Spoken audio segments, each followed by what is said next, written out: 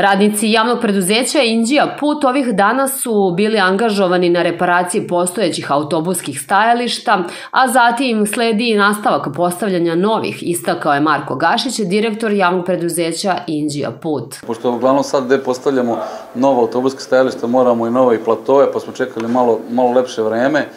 Ovaj, sada rekonstruišemo ova, ova starija su postavljene pre, pre ne, ne, nekoliko godina.